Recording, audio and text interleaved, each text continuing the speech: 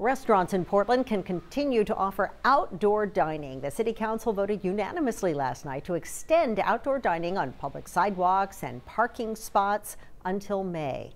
The news comes as a relief as many business owners say that having outdoor space has been critical to staying open and keeping people safe. News Center Maine's Shannon Moss joins us now from the Old Port with more on this. Shannon.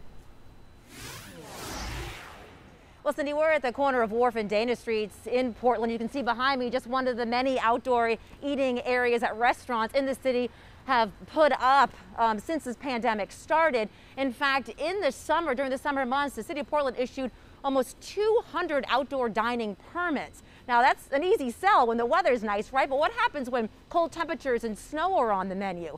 Well, restaurants have been doing what they've been doing since the start of the pandemic. They've been adapting in order to survive the slats are alternating, so you have airflow coming through the wall.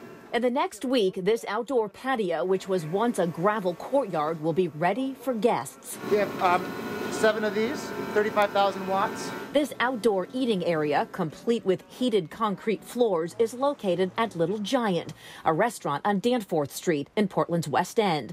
Owner Ian Malin says the pandemic has made this addition critical for the restaurant's survival. The other months of the year, aside from the summer, have been absolutely atrocious. Nobody could have expected anything quite like this. Damian Sansonetti and his wife own Chaval Restaurant on Pine Street.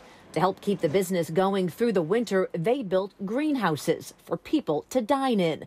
Mini houses that have lights and heaters allow for proper airflow and can be easily cleaned. I mean, when it was snowing last week and the week before, and you're sitting out here, I mean, it almost kind of feels a little magical. Cincinnati says the support from the community has been heartwarming. I was very moved last week when it was like in the 20s and we had people sitting here. Ian Malin says his focus is bringing the indoor dining experience outdoors, even if it's a huge financial risk doing so. A little bit terrifying um, but the whole year's been terrifying.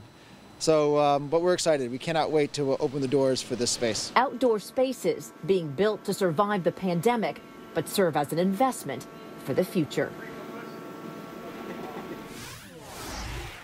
That's right, an investment for sure. In fact, in the spring and summer months, Chaval is going to use those greenhouses as actual greenhouses. They want to grow herbs and use other things that they can, you know, use in their restaurant. Also at Little Giant, that outdoor structure, besides dining, post-pandemic, will be used for parties, corporate gatherings, you name it. So it looks like Alfresco in Portland will be here to stay. But of course, keep in mind that not every restaurant either financially or logistically can have outdoor dining. So if you are comfortable dining indoors, please consider, you know, using those as going to those establishments. And as always, remember, you know, takeout. It's always a thing. These businesses, they certainly need our help during this pandemic. Indeed. Cindy, we'll send it back to you. All right, Shannon, thank you.